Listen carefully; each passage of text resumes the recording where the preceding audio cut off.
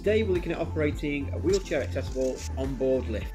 First from the handhold control, you'll want to extend the lift. Now place the button beneath it to lower the lift.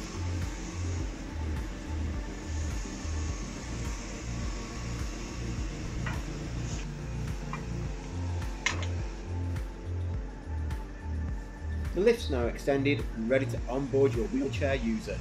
Now your wheelchair user is securely on the lift, press the button adjacent to lower to raise the lift.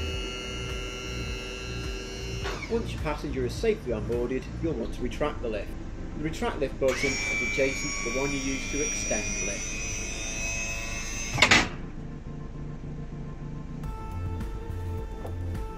With the lift retracted, you can now close the doors and head off on whatever journey lies ahead.